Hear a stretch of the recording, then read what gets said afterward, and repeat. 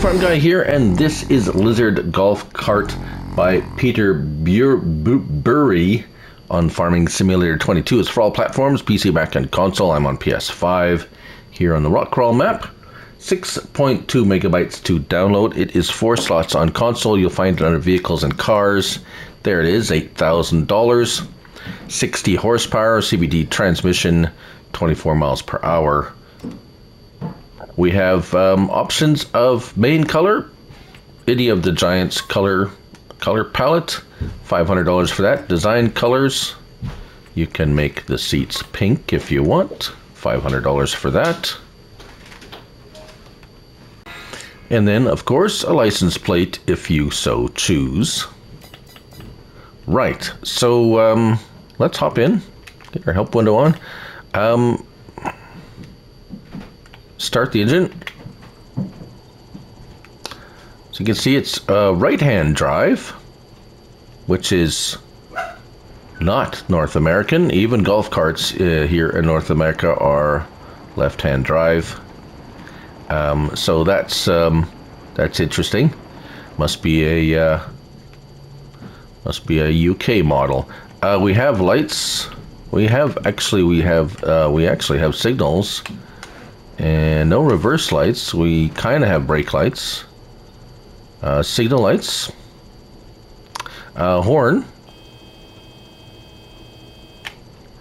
Um, 32 miles per hour. That's pretty darn fast for a golf cart. And it is wrong. 17 miles per hour is the top speed. 18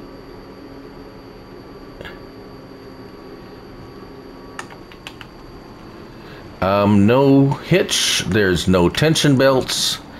That's it. I um, I very rarely um, critical of a mod, or if I am, I try to be understanding and all that. But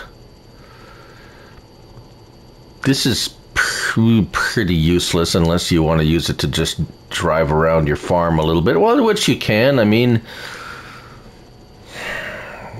yeah, so it's just a novelty item, um, kind of like a decoration on wheels that you can drive around. Pretty much that's about it. It doesn't even have a hitch that you can tow a little trailer around, which would have been made it at least not totally useless.